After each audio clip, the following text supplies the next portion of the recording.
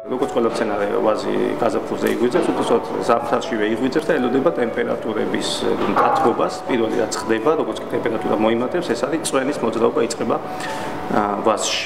ეს სითხე გადმოედინება და ამას ვაზის სტილს უწოდებენ ხოლმე. ანუ ეს პირველი ნიშანია, რომ ვაზმა გაიღვიძა და დაიწყო მუშაობა.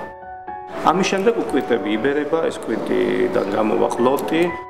პირველი ფოთოლი როგორც კი 20 თეთრიანის ზომას მიაღწევსო ესე შაურიანის ადრესი ამობდნენ.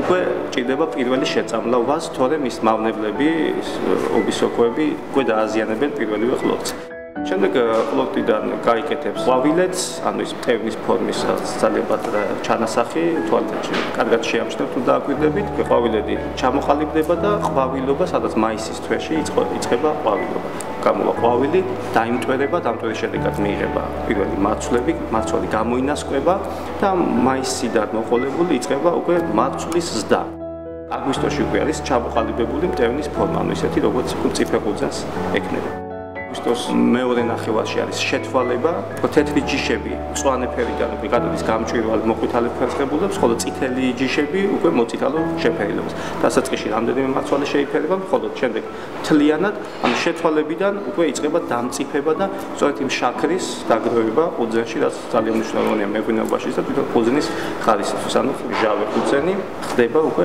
ტკბილი. დამწიფება სხვადასხვა ჯიშს, სხვადასხვა რეგიონში, სხვადასხვა პერიოდში ხდება ხოლმე, თქვა იგივე სექტემბრიდან დაიწყება ოქტომბრამდე და შეიძლება ზოგიერთ შემთხვევაში ნოემბრის დასაწყისშიც გადავიდეს.